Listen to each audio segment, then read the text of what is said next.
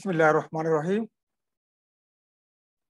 চট্টগ্রাম কলেজের দ্বাদশ শ্রেণীতে অধ্যয়নরত মনোবিজ্ঞান বিষয়ের সুপ্রিয় শিক্ষার্থীবৃন্দু তোমাদের সকলকে স্বাগত জানাচ্ছি আমাদের আজকের নির্ধারিত ক্লাসে। আমি আশা করি তোমরা সকলেই স্বাস্থ্যবিধি মেনে সবাই নিজে সুরক্ষিত আছো এবং পরিবার প্রিয়জনদেরও সুরক্ষিত রাখার চেষ্টা করছ। প্রিয় শিক্ষার্থীবৃন্দ, তোমরা ইতিমধ্যে জেনেছো যে আমরা একটা সংক্ষিপ্ত সিলেবাসের মধ্যে দিয়ে যাচ্ছি। তাহলে আমাদের বোর্ড থেকে যে সিলেবাসটুকু আমরা পেয়েছি, সংক্ষিপ্ত সিলেবাস, তার আলোকে আমরা সপ্তম শ্রেণীতে অবস্থান করছি, সপ্তম অধ্যায়ে অবস্থান করছি। আমি দ্বিতীয় পত্রের উপরে ইতিমধ্যে সপ্তম অধ্যায়ে আর দুটো ক্লাস নিয়েছি। তোমরা নিশ্চয়ই দেখতে পাবে, এই ক্লাসে বেশ কয়েকটি শিখন ফল আছে। আমরা সেই শিখন ফলগুলো অর্জন সাপেক্ষে আমাদের আরও কয়েকটি ক্লাস নিতে হবে। আজকে আমাদের দ্বিতীয় অধ্যায়ের তৃতীয় ক্লাস তাহলে তোমাদের সকলেই স্বাগত জানাচ্ছি আমাদের আজকের ক্লাসে তাহলে চলো আমরা চলে যাচ্ছি আমাদের আজকের ক্লাসে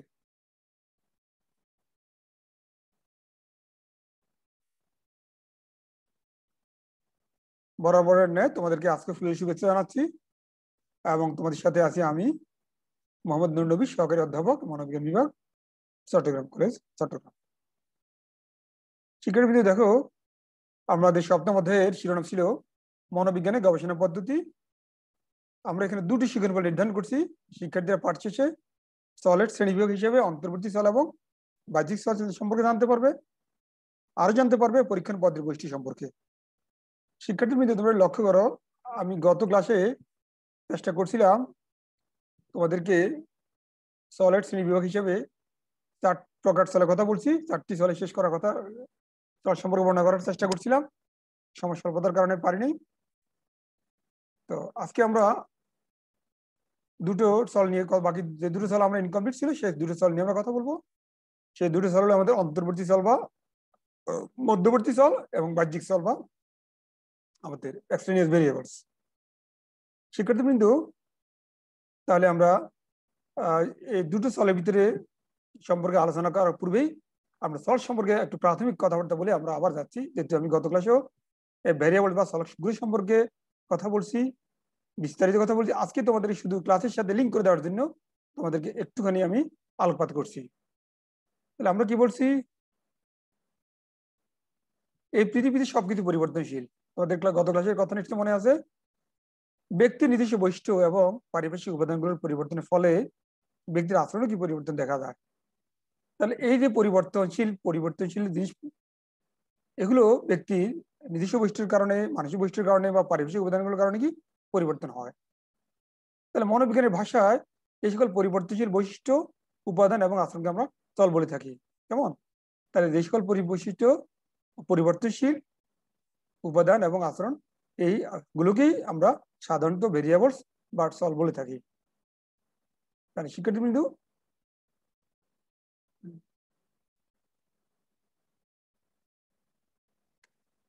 তাহলে আমরা একটু দেখি। সংক্ষেপে বলা যায়, কি লিখছি? যা কিছু পরিবর্তনশীল বা যাকে পরিবর্তন করা যায়, তাকে সল বা বেদ্ধ বলে। আমরা বলছি, যা কিছু পরিবর্তনশীল বা যাকে পরিবর্তন করা যায়, তাকে সল বা বেদ্ধ বলে। তারপর, রডিজার রাষ্ট্রান ক্যাপালিটি এবং প্যারিসের একটা আমি গত ক্লাসে তুলে ধরছি। আজকে একটু সঙ্গে বলছি, তো তিনি সল শব্দের দ্বারা কতগুলো বৈশিষ্ট্য বুঝিয়েছেন, যেগুলো পরিমাপ বা পরিচালনা করা, অর্থাৎ পরিমাপ যোগ্য পরিচালনা যোগ্য বিষয়গুলি কি? সাধারণত রডিজার রাষ্ট্রন, ক্যাপালিটি এবং প্যারিসের মধ্যে কি? এগুলো ভেরিয়েবলস বা সলক। তাহলে আমরা এই সংজ্ঞাগুলো বিশ্লেষণ করে কি পাচ্ছি? আমরা উপর লিখিত সংজ্ঞাগুলো পড়াশোনা করে বলা যায় যে সল হলো এমন এক ধরনের বৈশিষ্ট্য, গুণ বা আস্থা, অবস্থা যা একই পরিপ্রেক্ষিতে ঘটনার পরিবর্তনের সাথে সাথে বিভিন্ন অর্থে কি ব্যবহৃত হয়ে থাকে। তাহলে ঘটনা পরিবর্তনের সাথে সাথে এসব বৈশিষ্ট্য পরিবর্তন হবে। পরিবর্তনের ফলে তার নতুনত্ব অর্থ মাত্র কি? নতুনত্ব অর্থ কি করবে? কি সে ধারণ করবে? তাহলে আমরা এটা সংক্ষেপে দেখতে পাচ্ছি। তারপর আমরা বলেছি চল ছিল আমাদের কত প্রকার, চার প্রকার। অনবিশ্বিত চল ইন্ডিপেন্ডেন্ট ভেরিয়েবলস নির্বিশ্বিত চল বা ডিপেন্ডেন্ট ভেরিয়েবল মধ্যবর্তী অন্তর্বর্তী চল, তাকে আমরা বলছি interim variables intervening variables intervening variables বাহ্যিক চল বা এক্সট্রেনিয়াস ভেরিয়েবল তাহলে আজকে আমাদের আলোচনা বিষয় হলো মধ্যবর্তী বা অন্তর্বর্তী চল বা ইন্টারভেনিং ভেরিয়েবল নিয়ে।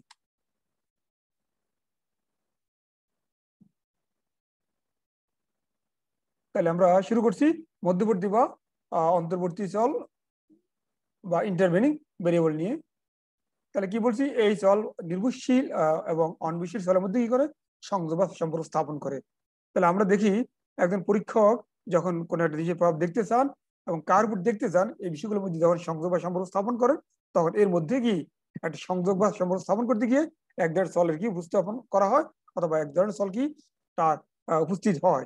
এই উপস্থিত বা সংযোগ স্থলে যে চলটি আসে, আমরা সেটিকে সাধারণত কি বলি? আমরা মধ্যবর্তী বা অন্তর্বর্তী চল বলে থাকি। আমরা জানি ব্যক্তি নিজস্ব বৈশিষ্ট্যগত পার্থক্যের ফলেও কি আচরণের মধ্যে পার্থক্য পরিলক্ষিত হয়। তাহলে ব্যক্তি নিজস্ব বৈশিষ্ট্যগত পার্থক্যের ফলেও কি আচরণের মধ্যে পার্থক্য পরিলক্ষিত হয়। এটা একটু খেয়াল করো তুমি, যখন তোমার যে দেশের প্রতি আগ্রহ সেই আগ্রহের ফলেও কি তোমার যে প্রত্যক্ষণ তোমার যে মনোযোগ, এই প্রত্যক্ষণের মাত্রার ফলেও কি তোমার দেশের প্রতি কি তোমার মূল্যায়নটা ভিন্নতর হবে? ধরো, খাবার টেবিলে যদি কেউ যদি একটা বিশেষ আইটেম পছন্দ করে, তাহলে দেখবে অনেকগুলো আইটেমের মধ্যে তার যেই পছন্দ শ্রেণি আইটেমটা সেই আইটেমের ভিতরে তার প্রথম দৃষ্টি যাবে, প্রথম সেই তার মনোযোগটা যাবে। তাহলে এটা কিন্তু তার একান্ত নিজস্ব বৈশিষ্ট্য। এর ফলে কিন্তু কি হবে? তার যে আচরণটা করবে অথবা তার যে বিহেভিয়ার প্যাটার্ন যেটা হবে সেটাও কি একটু পরিবর্তন বা চেঞ্জ হবে।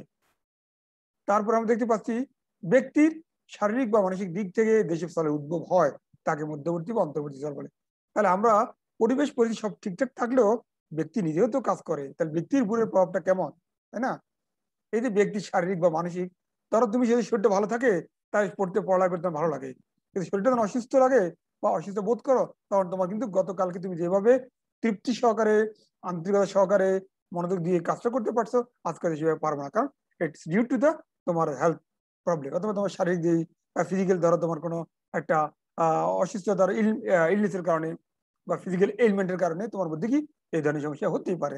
তাহলে এই যে সবকিছু ঠিক আছে কিন্তু তোমার যে অভ্যন্তরীণ যে বিষয়গুলো অথবা তোমার মনস্তাত্ত্বিক বিষয়গুলো, এই মেন্টাল বিষয়গুলোর কারণে কি তোমার মধ্যে কি অনেকগুলো মূল্যায়নটা অনেকগুলো মূল্যায়ন অথবা অনেকগুলোর যে দৃষ্টিভঙ্গি, সেগুলো কি হবে? পরিবর্তন হবে।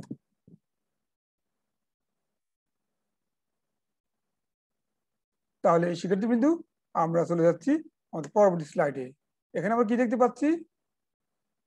এটাও আমরা মধ্যবর্তী বা অন্তর্বর্তী নিয়ে কথা বলছি।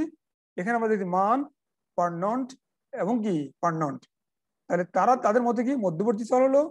কেমন? মধ্যবর্তী চল হলো একটি ঘটনা যা ব্যক্তির মধ্যে ঘটে যাওয়া অনুমান সম্পর্কিত উদ্দীপনা ও প্রতিক্রিয়া একটি বিষয়, যার দ্বারা প্রতিক্রিয়া নির্ধারিত অথবা প্রভাবিত হয়। আমি আবার বলছি, মান, পার্নন্ট এবং ফার্নন্ট এর মতে মধ্যবর্তী চল হলো এমন একটি ঘটনা। কেমন? যা ব্যক্তির মধ্যে ঘটে যাওয়া অনুমান সম্পর্কিত উদ্দীপনা এবং প্রতিক্রিয়া। তাহলে উদ্দীপনা এবং প্রতিক্রিয়ার মধ্যে একটা বিষয় থাকে যেমন যার দ্বারা প্রতিক্রিয়াটা নির্ধারিত হবে বা প্রভাবিত হবে। এটা তাহলে তুমি সকালবেলা একটা কাজ করতে যেভাবে তোমার অ্যাটেনশনটা ছিল দুপুরবেলা সেই পরিমাণ অ্যাটেনশন নাও থাকতে পারে, রাতের বেলায় কি আরও কমতে পারে? তাহলে এই যে তোমার ভিতরে উদ্দীপনা, তোমার যে প্রতিক্রিয়া, সেটা কি ইট ভ্যারিজ এটা ভ্যারি করবে, তোমার অভ্যন্তরীণ কারণে কিন্তু ভ্যারি করবে এটা। তারপরে পরীক্ষার আগের রাত্রে তোমাদের পড়ালেখার উপর যেমন আগ্রহটা বাড়ে বা পড়তে চেষ্টা করো, ঠিক আবার পরীক্ষা শেষ হওয়ার পরের দিন আবার কিন্তু পড়ালেখা ধরতে ইচ্ছে করে না। পরীক্ষা শেষ হয়ে গেছে, এখন আপাতত পরীক্ষা নাই, তাহলে এই কয়েকটা দিন আবার কি তখন এসে কিন্তু আর রাত্রিবেলা বই পড়তে কি বা আমাদের পাঠ্য বই একাডেমিক বই আমাদের কি পড়তে তেমন কি আগ্রহ জাগে না। তাহলে এই যে বিষয়গুলো আর কি, গতকালও তুমি আজকের পরীক্ষার জন্য, আজকের পরীক্ষার জন্য গতকালকে তুমি অনেকক্ষণ পড়ায় করছ, অনেক আন্তরিকভাবে পড়ায় করছ এবং তোমাকে বলতে হয় নাই যে, বাবা পড় টেবিলে যাও, আমু পড় টেবিলে যাও, তোমার কালকে পরীক্ষা। তোমার কেউ বলে নাই। তুমি নিজ দায়িত্বে, নিজ উদ্যোগে, নিজে উদ্দীপিত হয়ে তুমি কি করছ? সব স্বপ্রণোদিত হয়ে কি করছ? তুমি তোমার কাজে লেগে গেছো তাহলে কিন্তু পরের দিন ঠিক পরীক্ষা শেষ হওয়ার পরে দিন থেকে তখন আর পরীক্ষা আপাতত নেই, তখন তুমি কিন্তু আর আগের দিনের মতো পড় টেবিলে যাচ্ছ না। তাহলে কেন যাচ্ছ না? কারণ এই যে তোমার যে ভিতরে উদ্দীপনা বা প্রতিক্রিয়া অর্থাৎ অভ্যন্তরীণ বিষয়, সেই বিষয়ের মধ্যে কি একটা একটু পরিবর্তন এসেছে। আর এই পরিবর্তনের ফলে কি? তোমার যে প্রতিক্রিয়া, সেটা কি হবে? প্রভাবিত বা নির্ধারিত হবে। আচ্ছা।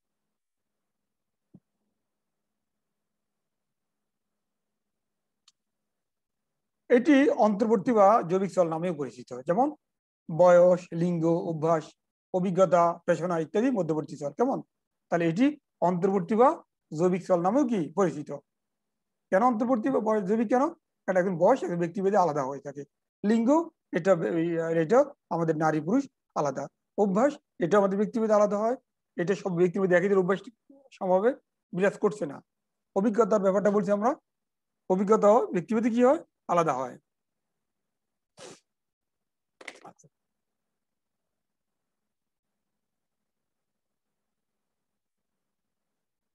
তাহলে আমরা অভিজ্ঞতা পেশনা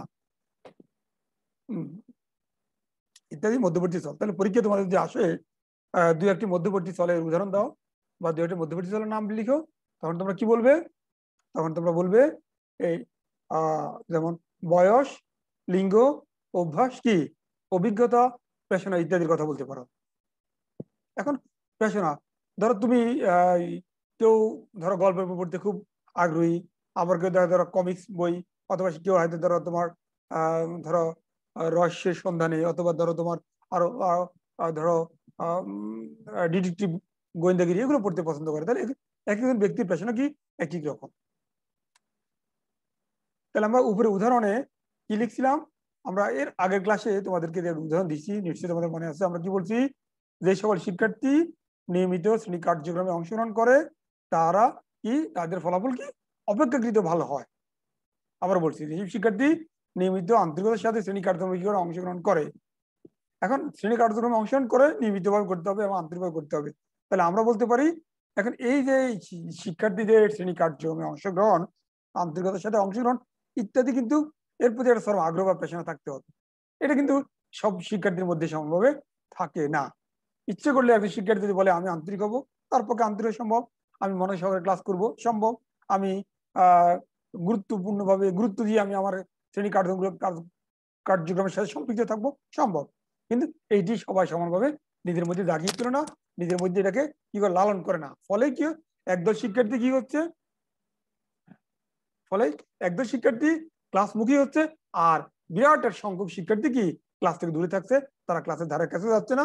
কারণ এই যে এই যে, এই শিক্ষার্থী, আহ, সরব আগ্রহ নিয়ে, পেশনা নিয়ে ক্লাস করতে আগ্রহী, তারা আমরা মনে করি তাদের ফলাফল ওই সকল শিক্ষার্থীর তুলনায় যারা নিয়মিতভাবে ক্লাসে অনিয়মিত থাকে।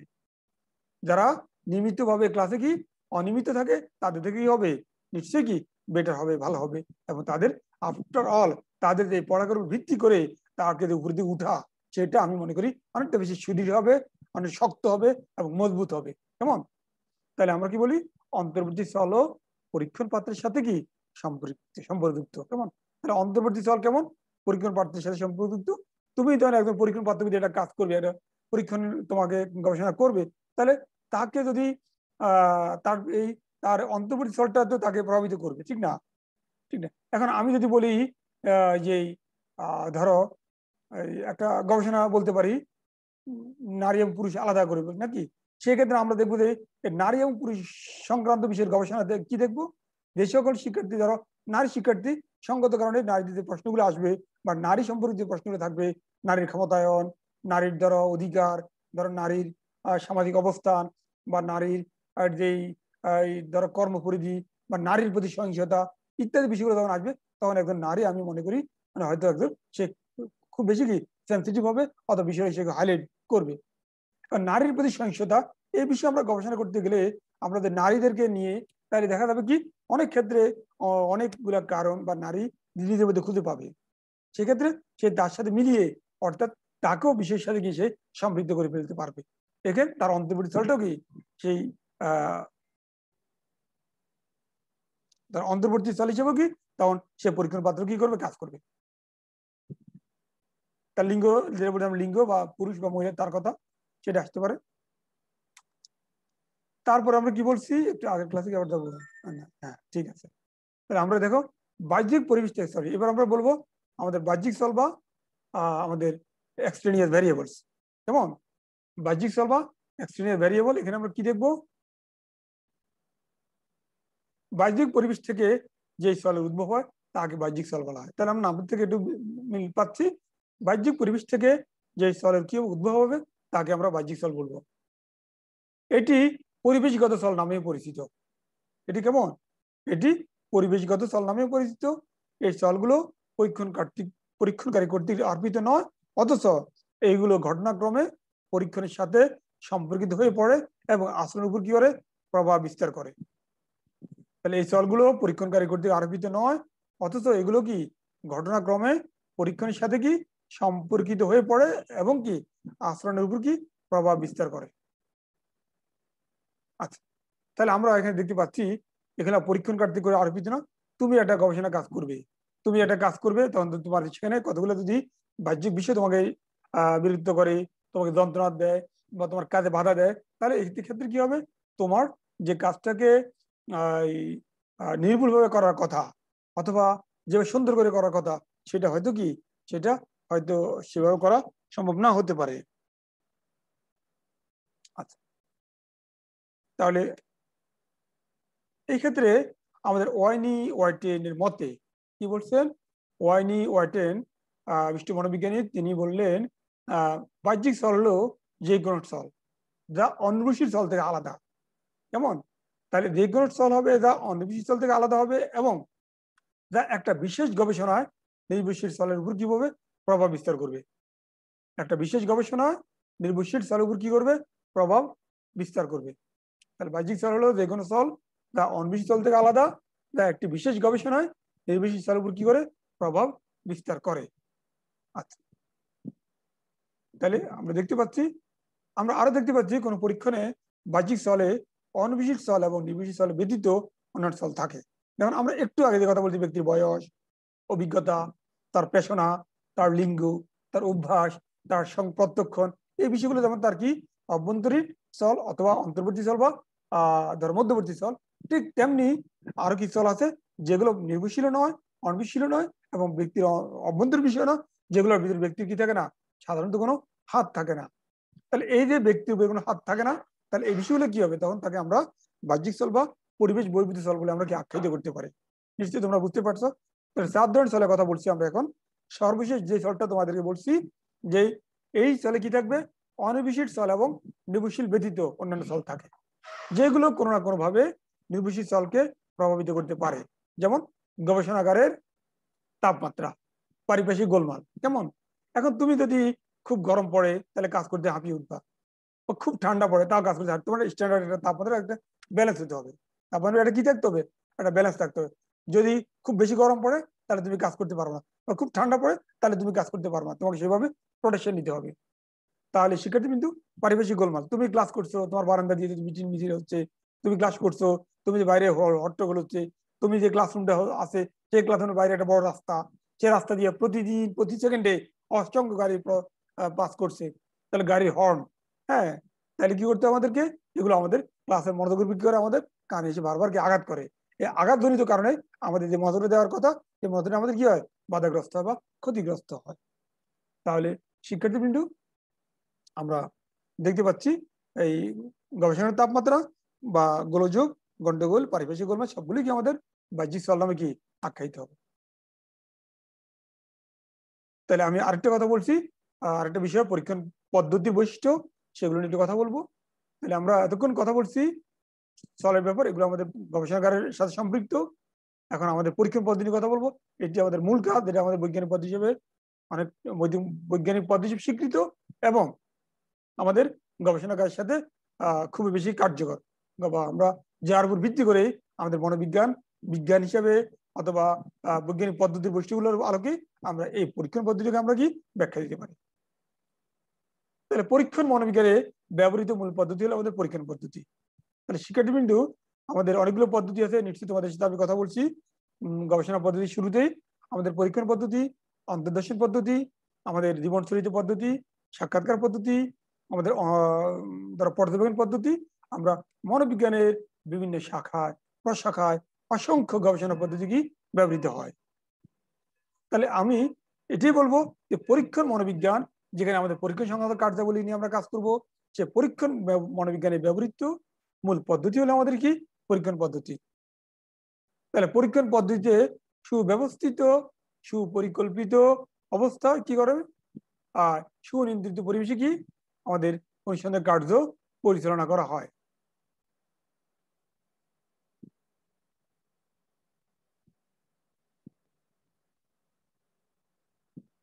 আচ্ছা। তাহলে পরীক্ষণ পদ্ধতিতে সুব্যবস্থিত ও সুপরিকল্পিত অবস্থা। আচ্ছা অবস্থার মধ্যে বানানটা ভুল আছে, আমি একটু কারেকশন করে অবস্থা হ্যাঁ? ঠিক আছে অবস্থা হ্যাঁ। তাহলে পরীক্ষণ পদ্ধতিতে সুব্যবস্থিত ও সুপরিকল্পিত অবস্থায় সুনিয়ন্ত্রিত পরিবেশে অনুসন্ধান কার্য পরিচালনা করা হয়। বৈজ্ঞানিক পদ্ধতি বলতে মূলত পরীক্ষণ পদ্ধতিকে বোঝায়। তাহলে আমরা বৈজ্ঞানিক পদ্ধতি বলতে অনেকগুলো পদ্ধতি আছে, কিন্তু আমরা সবগুলো পদ্ধতিকেই আমরা বৈজ্ঞানিক পদ্ধতি বলব না। বৈজ্ঞানিক পদ্ধতিটা মূলত আমরা পরীক্ষণ পদ্ধতিকে আমরা বলব। বৈজ্ঞানিক পদ্ধতির সকল বৈশিষ্ট্য কি? পরীক্ষণ পদ্ধতি বিদ্যমান। বৈজ্ঞানিক পদ্ধতির সকল বৈশিষ্ট্য আমাদের পরীক্ষণ পদ্ধতি কি? বিদ্যমান। তাহলে শিক্ষার্থী বিন্দু, আমরা এখন দেখব পরীক্ষণ পদ্ধতির বৈশিষ্ট্যগুলো কি কি? তাহলে আমাদের পরীক্ষণ পদ্ধতির একটু দেখি, আমরা পরীক্ষণ পদ্ধতির আমাদের বৈশিষ্ট্যগুলো কথা বলছি এখানে। আচ্ছা আমরা সকল বৈশিষ্ট্য পরীক্ষণ পদ্ধতি বিদ্যমান। এখন আমরা যেগুলো বলব, যে পরীক্ষণ পদ্ধতির বৈশিষ্ট্য নিম্নরূপ হ্যাঁ? তাহলে আমরা সরি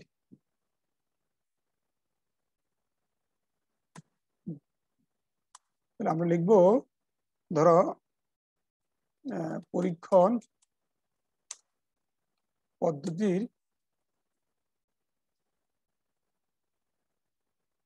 বৈশিষ্ট্যসমূহ নিম্ন?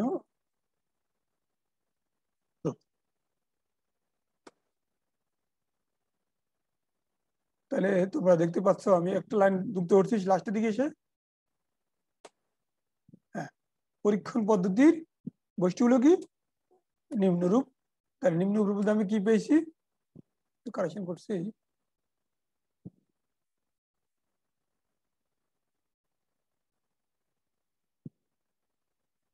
তাহলে পরীক্ষণ পদ্ধতির বৈশিষ্ট্যগুলো নিম্নরূপ এখন আমরা দেখব এক নম্বর কি পাবো?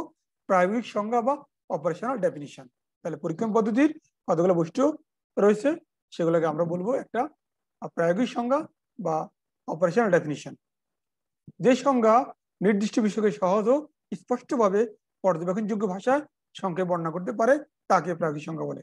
তাহলে শিক্ষার্থী, দেখো, আমি যখন কোনো বিষয় নিয়ে গবেষণা করব সেই বিষয়ের পর যে গবেষণা বিষয়টাকে আমাকে অবশ্যই যেন সহজে পর্যবেক্ষণ স্পষ্টভাবে পর্যবেক্ষণযোগ্য হয়। তাহলে তাকে আমরা সেবা মনে করতে দাম ধরো এটা একটা মোবাইল তাই না? এটাকে এটা মোবাইল এই যে মোবাইল তাই এটাকে আমাকে বুঝতে হবে যে আমি মোবাইল বলতে কি বুঝাচ্ছি আসলে? এটা কোন ধরনের ডিভাইস কি বুঝি আমি স্মার্ট মোবাইলের কথা বলছি? না, আমি আমাদের আমাদের অর্ডিনারি বা সনাত আমাদের অর্ডিনারি মোবাইলের কথা বলছি? আমাদের বাটন মোবাইলের কথা বলছি? না, আমাদের স্মার্ট মোবাইলের কথা বলছি? তাহলে এই বিষয়গুলো নিয়ে আমাদের কি? একটা মোবাইল নিয়ে আসো, এই সে তুমি তার ভিডিও কল দাও। তাহলে এই কথা বলতে হলে তার কোন মোবাইল আনতে হবে? যে তাকে আনতে হবে, তার স্মার্ট মোবাইল অ্যান্ড্রয়েড সেট আনতে হবে। তাহলে আমাকে বিষয়টা পরিষ্কার করতে হবে স্পষ্ট করতে হবে, যাতে পর্যবেক্ষণ করা যায় সহজে। যে বিষয়ের উপর অনুধাবন অনুধান করা হচ্ছে, তা স্পষ্টভাবে চিহ্নিত করা সহজে করে সহজে পর্যবেক্ষণ করা সম্ভব এমন ব্যাখ্যা প্রদান করাই হচ্ছে কি? প্রায়োগিক সংজ্ঞা। তাহলে আবার বলছি, যে বিষয়ের উপর আমি অনুধান করব, তা স্পষ্টভাবে অথবা সুস্পষ্টভাবে চিহ্নিত করে সহজে পর্যবেক্ষণ করা সম্ভব তখন তার ব্যাখ্যার নামে লেগে আমাদের কি প্রায়োগিক সংজ্ঞা। তাহলে আমরা অস্পষ্ট কোনো বিষয় নিয়ে আমরা গবেষণা করতে পারব না। কারণ এই গবেষণা বিষয়ের মধ্যে সমস্যার ভিতরে বা তার সিনেমার ভিতরে যে শব্দগুলো আছে, সেই শব্দগুলো প্রতিটি ব্যাখ্যা আমাদেরকে সুস্পষ্টভাবে, সুন্দরভাবে আমাদেরকে পরিষ্কার করে আমার ধারণা রাখতে হবে যে মোবাইলের অপব্যবহারের ফলে মোবাইল অপব্যবহার ফলে তরুণ সমাজ কি আমাদের ধরো আহ দেওয়ার প্রান্তে। তাহলে মোবাইলের অপব্যবহারের ফলে এখন আসলে কোন মোবাইল বা কখন ব্যবহারের ফলে কোন অপব্যবহারটা কেমন? তাহলে আমাদের দেখতে হবে। আমি এখানে অপব্যবহার বলতে কি বুঝি? বা এখানে মোবাইল বলতে কোনটা? আমার বাটন সেট না আমাদের অ্যান্ড্রয়েড সেট আর অ্যান্ড্রয়েড সেট ধর উপকারিতা আছে। এখন তোমার জুম ক্লাস করছ, যে তোমাদের যে ক্লাসগুলো দিচ্ছ এখানে আমাদের অ্যান্ড্রয়েড সেট দরকার আছে। তাই এটা তার পজিটিভ সাইড বাট এটাকে তো তোমরা নেগেটিভ অর্থে কাজে লাগাবা। এটার মধ্যে অনেক কিছু মোবাইল নষ্ট নষ্ট হওয়ার মতো, নিজেকে নষ্ট করার মতো অনেক কিছু আমাদের রয়েছে। তাহলে তুমি যদি সেখান থেকে তোমাকে দূরে রাখতে পারো, অথবা তুমি যদি এটার ভালো দিকগুলো কাজে লাগাতে পারো, তাহলে নিশ্চয়ই it is very helpful it is beneficial to us এটা আমাদের উপকারী। এত শিক্ষার জন্য উপকারী, এবার সবার জন্য উপকারী বাট আমরা ধর অপপ্রয়োগ করব অপপ্রয়োগ মিস ইউজ করব, তখনই আমাদের কি, সেটা আমাদের জন্য কি একটা একটা সমস্যা তৈরি করবে। তাহলে শিক্ষার্থী বিন্দু তাহলে আমি আবার বলছি যে বিষয়ের উপর অনুধান করা হচ্ছে, তা সুস্পষ্টভাবে চিহ্নিত করে সহজে পর্যবেক্ষণ করা সম্ভব। এমন ব্যাখ্যা প্রদান করে হচ্ছে কি? প্রায়োগিক কি? সংজ্ঞা। তাহলে পরীক্ষণ পদ্ধতি একটি, বস্তুনিষ্ঠ পদ্ধতি। কেমন? পরীক্ষণ পদ্ধতি কি একটি? বস্তুনিষ্ঠ পদ্ধতি। এখানে আচ্ছা এরপরে তাহলে দ্বিতীয় বৈশিষ্ট্য আমাদের কি? দ্বিতীয় বৈশিষ্ট্য পেয়েছি আমরা। বস্তুনিষ্ঠতা বা অবজেক্টিভিটি বস্তুনিষ্ঠতা বা কি? অবজেক্টিভিটি তাহলে শিক্ষার্থী লক্ষ্য করো, পরীক্ষণ পদ্ধতি একটি বস্তুনিষ্ঠ পদ্ধতি। কেন? কারণ এখানে ব্যক্তির ইচ্ছা, অনিচ্ছা, ব্যক্তির পছন্দ, অপছন্দ, ভালো লাগা, মন্দ লাগা ব্যক্তির প্রভাবটাকে সেখানে কি ব্যক্তির প্রভাব দ্বারা প্রভাবিত হচ্ছে না। এটা। তাহলে এই যে ব্যক্তির পছন্দ, অপছন্দ, ইচ্ছা, অনিচ্ছা, তার ভালো লাগা, মন্দ লাগা, ব্যক্তি যে ডাইরেক্ট একটা ইনফ্লুয়েন্স সেটাকে আমাদের কি লাগছে না? এই জন্য আমরা বলি বস্তুটি অবজেক্টিভ পরীক্ষণের পরিকল্পনা আয়োজন। পরীক্ষণ ও পরীক্ষণকারী ভেদে অভিন্ন রেখে পরীক্ষণের ফলাফলকে পরীক্ষণকারীর প্রভাব মুক্ত রাখাই হলো কি? ব্যক্তি নিরপেক্ষতা বা বস্তুনিষ্ঠতা। পরীক্ষণের পরিকল্পনা ও আয়োজন, পরীক্ষণ ও পরীক্ষণকারী ভেদে অভিন্ন রেখে পরীক্ষণের ফলাফলকে পরীক্ষণকারীর প্রভাব মুক্ত রাখাই হলো কি? ব্যক্তি নিরপেক্ষতা বা বস্তুনিষ্ঠতা।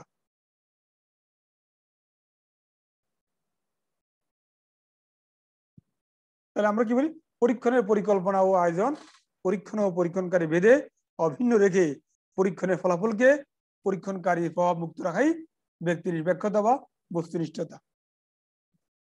তাহলে শিক্ষার্থী বিন্দু, আমরা বস্তুনিষ্ঠতার পরিচয় পেয়েছি। এবার আমরা যাব প্রয়োজন অনুযায়ী স্থলের প্রয়োগ। তাহলে আমরা এখানে কি দেখব? আমরা যে স্থলের কথা বলছি একটু আগে, সেগুলো আমরা কখন ব্যবহার করব? কি মাত্রায় ব্যবহার করব? সেগুলো আমাদেরকে ঠিক রাখতে হবে, আগে নির্ধারণ করতে হবে। দেখো পরীক্ষণ পদ্ধতিতে আমাদের যে বৈশিষ্ট্য তিন নম্বর বৈশিষ্ট্যের কথা বলছি, সেই তিন নম্বর বৈশিষ্ট্য হলো আমাদের কি? প্রয়োজন অনুযায়ী সলের প্রয়োগ। পরীক্ষণ পদ্ধতিতে পরীক্ষণকারী প্রয়োজন অনুযায়ী স্থলের মাত্রা, পরিমাণ বা শক্তি পরিবর্তন করে স্থল প্রয়োগ করে থাকেন কেমন? তাহলে সলের মাত্রাটা কেমন হবে? কি পরিমাণ? তাকে করতে হবে ধরেন আমরা তো বলি, শিক্ষার্থীরা যদি নিয়মিত অধ্যয়ন করে নিয়মিত বাসা বাড়িতে, নিয়মিত ঘরে বাসায় লেখাপড়া করে, তাহলে তারা পরীক্ষার সময় তাদের আর কি পড়াগুলো তাদের কাছে বোঝা হয় না বা পরীক্ষার সময় তাদেরকে বেশিক্ষণ পড়তে হয় না। এখন এই যে নিয়মিত পড়ার কথা বলছি, এই নিয়মিত কখন হবে? দিনে ছয় ঘণ্টা, দিনে আট ঘণ্টা, দিনে দশ ঘণ্টা? এর মাত্রা আমরা ঠিক করে ফেলতে হবে। আবার it varies from student to student এটা শিক্ষার্থী মধ্যে আবার আলাদা হয়। কেমন আলাদা হয়? একজন মেধাবী শিক্ষার্থী অল্প পরিশ্রম করলেই তার পড়াকে আয়ত্তে আনতে পারে। পক্ষান্তরে একজন দুর্বল শিক্ষার্থী কি অনেক বেশি পরিশ্রম করতে হবে, তাকে অনেক বেশি সময় দিতে হবে। এই যে অনেক বেশি সময় দেওয়া, অনেক বেশি পরিশ্রম করা, এটা কিন্তু আমাদের যে আমাদের যে ভেরিয়েবল যে, আমাদের যে পাওয়ার বা শক্তি সে তার কথা আমরা বলছি। তিনি প্রয়োজন মতো যে কোনো অনিশ্চিত স্থলের রাজবৃদ্ধি ঘটিয়ে, তাহলে অনিশ্চিত স্থলের হ্রাস বা বৃদ্ধি ঘটিয়ে কি করবে? আর নির্বিশেষ স্থলের উপর কি প্রভাব পড়ে তা প্রদান করতে পারেন। এখন আট ঘণ্টা পড়ে দেখতে পারে তার পড়া কতটুকু আয়ত্তে আসে, আবার ছ ঘণ্টা কমিয়েও কি, দুই ঘণ্টা কমিয়ে অর্থাৎ ছ ঘণ্টা করেও কি দেখতে পারে যে কতটুকু তার আয়ত্তে আসে। আবার ধরো দশ ঘণ্টা করেও করতে পারে। অর্থাৎ এই যে তার অনবিশালের প্রয়োগটা এটা তিনি করে দশ ঘণ্টা, আট ঘণ্টা, ছয় ঘণ্টা ইত্যাদি প্রভাব তিনি দেখতে পারে প্রয়োজন অনুযায়ী চলের পরিবর্তন পরীক্ষণ পদ্ধতির অন্যতম গুরুত্বপূর্ণ বিষয় তাহলে আমাদের প্রয়োজন অনুযায়ী পরিবর্তন করতে হবে। এটা আমি ইচ্ছে করেই কিন্তু সবসময় করলে হবে না। যেহেতু এটা উপরে আমাদের কি নাই? আগে বলছি পরীক্ষণ পদ্ধতি, একটা বস্তুনিষ্ঠ পদ্ধতি, যার ফলে এরকম আমাদের কি কোনো হাত নেই, কোনো ইচ্ছা অনিচ্ছা কোনো কি নেই, প্রভাব নাই। ফলে আমরা কি করতে পারি? ফলে আমরা এটাকে প্রয়োজন অনুযায়ী আমাদের স্থলের পরিবর্তন করে আমরা অনবিশতলে আমরা নির্বিশের উপরে কি প্রভাব পড়ে আমরা তা দেখতে পাই। তাহলে শিক্ষার্থী বিন্দু আমরা চলে যাচ্ছি আমাদের পরবর্তী বৈশিষ্ট্য, যাকে আমরা নাম দিয়েছি নিয়ন্ত্রণ বা কন্ট্রোল এটি পরীক্ষণ পদ্ধতির আরেকটি গুরুত্বপূর্ণ বৈশিষ্ট্য। আরেকটি গুরুত্বপূর্ণ বৈশিষ্ট্য। তাহলে এখানে নিয়ন্ত্রণ বলতে কি বুঝি? আমরা নিয়ন্ত্রণ বলতে বুঝি কোনো কাজের উপরে আমাদের কি একটা প্রভাব থাকা। আমরা সেই কাজটাকে নিজের মতো করে নিজে নিয়ন্ত্রণ করতে পারি। নিয়ন্ত্রণ বলতে আমরা পরীক্ষা মূলত পরীক্ষণাধীন স্তরের কার্যকারিতাকে পারিপার্শ্বিক সকল অবস্থা থেকে মুক্ত করে। হ্যাঁ। তাহলে পরীক্ষণ নিয়ন্ত্রণ বলতে মূলত পরীক্ষণাধীন স্তরের কার্যকারিতাকে পারিপার্শ্বিক সকল অবস্থা থেকে মুক্ত রেখে, মুক্ত রাখার প্রক্রিয়াকে বোঝায়।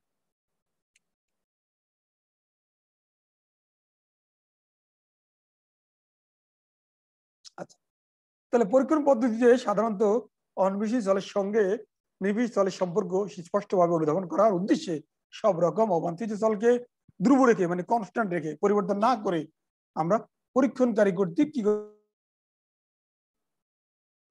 পরীক্ষণ কার্য পরিচালনা করা হয়। তাহলে একটু খেয়াল করো শিক্ষার্থী বিন্দু আমি লাস্ট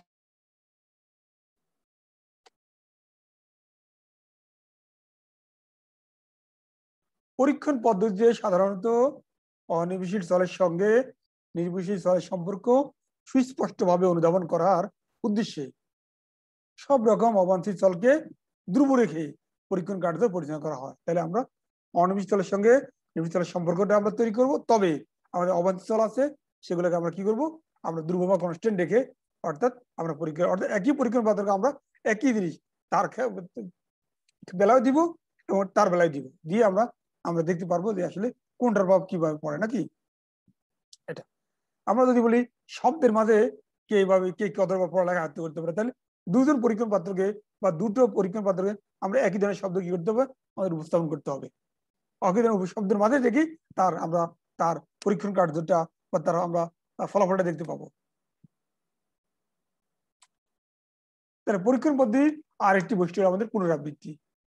শিক্ষার্থী বিন্দু, তাহলে আমরা এখানে কি দেখতে পাচ্ছি? পুনরাবৃত্তি বলতে কি বুঝি? যে বারবার করা। কোন একটা কাজ কি? বারবার করা, পুনরাবৃত্তি। কোন বিষয় বা ঘটনার উপর বারবার পরীক্ষণ কার্য পরিচালনা করাকে পর্যবেক্ষণের পুনরাবৃত্তি বলা হয়। কোন বিষয় বা ঘটনার উপর বারবার পরীক্ষণ কার্য পরিচালনা করাকে পর্যবেক্ষণের পুনরাবৃত্তি কি বলা হয়? তাহলে পরীক্ষণ পদ্ধতিতে পূর্বে পরীক্ষিত কোনো বিষয়কে পুনরায় পরীক্ষা নিরীক্ষা পূর্বক গবেষণা কার্য পরিচালনা করা হয়। তাহলে আবার বলছি, এই অর্থাৎ আমরা একই কাজ আমরা বারবার করি। করে কি দেখব? আসলে আমি আগে যে ফলাফলটা পেয়েছি, সেই কাজটা কি পুনরায় বারবার পরীক্ষা করা যায় কিনা?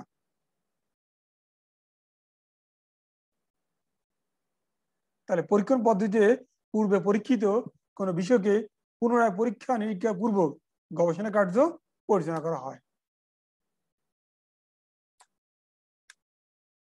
এবার আরেকটি শব্দ হচ্ছে জেনারেলাইজেশন বা সাধারণীকরণ। এখানে আমরা সাধারণীকরণ বলতে কি? সাধারণীকরণ, আমরা তোমরা জানো, শিক্ষণের একটি বৈশিষ্ট্য ছিল কি? আমাদের সাধারণীকরণ। শিক্ষণের বেশ কয়েকটি বৈশিষ্ট্য আমরা পড়ছি। সাধারণীকরণ, পৃথকীকরণ অবলুপ্তি এবং স্বতঃস্ফূর্ত কি? পুনরাগমন। শিক্ষার্থী বিন্দু, তোমাদের নিশ্চিত মনে আছে, এই তোমরা শিক্ষণ অধ্যায়ের মধ্যে শিক্ষণ প্রক্রিয়ার বৈশিষ্ট্যগুলো পড়ছো। তাহলে আমরা এখন সাধারণীকরণটা বলতে কি বুঝি? আসলে কত অল্প সংখ্যক দৃষ্টান্ত থেকে, দেখো, অল্প সংখ্যক দৃষ্টান্ত গবেষণা পূর্বক বিশ্লেষণ লব্ধ ফলাফল স্থান, কাল, পাত্রভেদে এক জাতীয় সকল ক্ষেত্রের জন্য সত্য হিসেবে গ্রহণ করাকে সাধারণীকরণ বলে। আমরা কি দেখি? আমরা দেখি আমাদের বাড়িতে আমাদের মায়েরা যখন রান্না করেন বা আমাদের বাসায় ভাত রান্না হয়, তখন আমরা কি দেখি? যে একটা হাড়ির সকল ভাত তো টিপে মা বা আমাদের ঘরে, আহ সবাই তো সেগুলো দেখে না। তাহলে কি করে? যিনি রান্নাকারী, রাঁধুনি তিনি করেন? দুই একটা ভাত টিপে দেখে দিয়ে এগুলো সিদ্ধ হয়েছে কিনা। এর পরিপ্রেক্ষিতে কি নেয়? তিনি সিদ্ধান্ত নেন যে কি আমাদের আসলে হাঁড়ির সবগুলো চালে কি ভাতে রূপান্তরিত হয়েছে। অথবা আমরা শিক্ষার্থীদেরকে সবাইকে তো আর এট টাইম সবার উপরে একদিন প্রয়োগ করা যায় না। আমরা কিছু সংখ্যক শিক্ষার্থী আমরা দেখি যে তাদের উপরে কোনো একটা আচরণ দেখি বা তাদের কোনো কার্যক্রম দেখি, দেখে আমরা অনুমান করি যে শিক্ষার্থীরা এখন তাদের মাঝে এই বৈশিষ্ট্য বিদ্যমান। এখন আমরা দেখি শিক্ষার্থীরা অনেকটা মোবাইলে প্রতি আসক্ত হয়ে পড়ছে বা অনেকেই আমরা এটা বলতে পারি যে মোবাইল শিক্ষার্থীরা এখন কি ধরো প্রয়োজন চেয়ে কি অপ্রয়োজনে মোবাইলটাকে বেশি ব্যবহার করেন। তাহলে এই যে কথাটা কি আমাদের অসত্য হবে? কিছু সঙ্গে শিক্ষার্থী প্রয়োজনের চেয়ে অপ্রয়োজনে মোবাইল ফোন বেশি ব্যবহার করেন। তাহলে এগুলোকে আমরা জেনারেশন করতে পারি।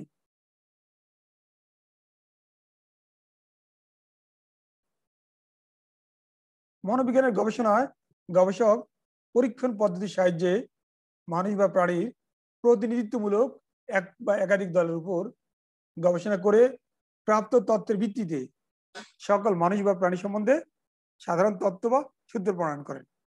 আবার বলছি, মনোবিজ্ঞানের গবেষণায় গবেষক পরীক্ষণ পদ্ধতির সাহায্যে মানুষ বা প্রাণীর প্রতিনিধিত্বমূলক এক বা একাধিক দলের উপর গবেষণা করে এক বা একাধিক দলের উপর কি গবেষণা করে প্রাপ্ত তথ্যের ভিত্তিতে সকল মানুষ বা প্রাণী সম্বন্ধে সাধারণ তত্ত্ব সূত্র প্রণয়ন করেন এখানে একটু কারেকশন আছে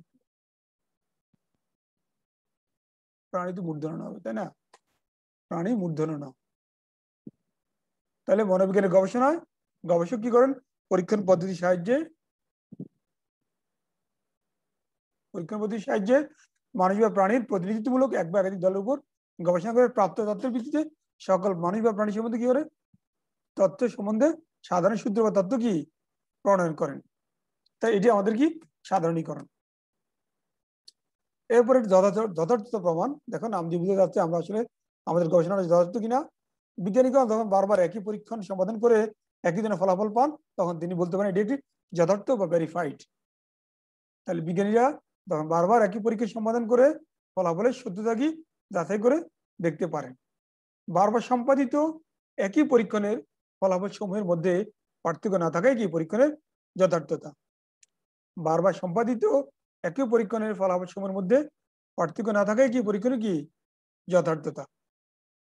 কেউ পরীক্ষণের ফল পাশ করার পর অন্যরা তা অনুরূপভাবে পরীক্ষা করে ওই সাথে যাচাই করতে পারে। অর্থাৎ আমি যে ফলাফলটা পেয়েছি যে ধরো, এই মুক্ত পর্দায় এবং কি, নিয়ন্ত্রিত পর্দায় কি? আমরা দেখছি মুক্ত পর্দায় এবং নিয়ন্ত্রিত পর্দায় শব্দানের সঙ্গে প্রতিক্রিয়াকাল নির্ণয়। তোমার একটা পরীক্ষণ আছে, মুক্ত পর্দা এবং নিয়ন্ত্রিত পর্দায় শব্দের সঙ্গে প্রতিক্রিয়াকাল নির্ণয়। তাহলে এখন কোন পর্দায় সময় বেশি লাগে? কি মুক্ত পর্দায় সময় বেশি লাগে না নিয়ন্ত্রিত পর্দায় সময় বেশি লাগে? এখন ধরো, একই কাজ তোমরা করছ, মুক্ত পর্দায় এবং নিয়ন্ত্রিত পর্দায়। তাহলে মুক্ত পর্দায় আমরা দেখব তাই এই পরীক্ষণটা আমি দেখতে পাই মুক্ত পর্দায় সময় বেশি লাগে। তাহলে আর একজন গবেষক তিনি দেখতে পান, তাহলে আমরা বলতে পারি যে এটি ভেরিফাইড বা এটি যথার্থ আমাদের পরীক্ষণ। তাহলে স্বীকৃতি কিন্তু আমরা চলে যাচ্ছি আমাদের লাস্ট পরিসংখ্যানগত পরিমাপ। এখানে আমরা দেখতে পরীক্ষণ পদ্ধতিতে উপাত্ত সংগ্রহ ও বিশ্লেষণের জন্য আমাদের কি লাগবে? তার বিশ্লেষণে পরিসংখ্যানে পরিমাপ ব্যবহার করা হয়। তাহলে পরীক্ষণ পদ্ধতিতে উপাত্ত সংগ্রহ তার বিশ্লেষণে পরিসংখ্যার বিভিন্ন পরিমাপ ব্যবহার করা, হয়। প্রাপ্ত উপাত্ত কেন্দ্রীয় প্রবণতা, বিচ্যুতির পরিমাপ সহ পরিবর্তন নির্ভরের প্রকৃতির সাথে আমরা কি ব্যাখ্যা বিশ্লেষণ কি করে থাকি? তাহলে আমরা পরিসংখ্যানগত ব্যবহার, পরিসংখ্যানগত পরিমাপগুলো ব্যবহার করে আমরা আমাদের আসলে পরীক্ষা আমাদের গবেষণা লব্ধ তথ্যকে আরও বেশি কি আমরা জেনারেলাইজড আরও বেশি গ্রহণযোগ্য, আরও বেশি আমরা কি মানে যথার্থ বলে আমরা আখ্যায়িত বা প্রমাণ করতে পারি। তাহলে শিক্ষার্থী বিন্দু, তোমাদের কোনো প্রশ্ন থেকে থাকে, তোমরা লিখে রাখবে, তোমরা প্রশ্ন নোট ডাউন করবে। আমাদের পরবর্তী ক্লাসে আমরা সেগুলো নিয়ে কথা বলব। তোমরা আশা করি তোমাদের আর কোনো প্রশ্ন নেই। তোমরা নিয়মিত অধ্যয়ন করবে, যথাযথ স্বাস্থ্যবিধি মেনে চলবে নিজে সুরক্ষিত থাকবে, পরিবারের প্রিয়জন, আপনজন, সঙ্গীজনকে সুরক্ষিত রাখবে এবং সকলেই স্বাস্থ্যবিধি মেনে চলবা। সকলকে আবারও ধন্যবাদ। আসসালামু আলাইকুম।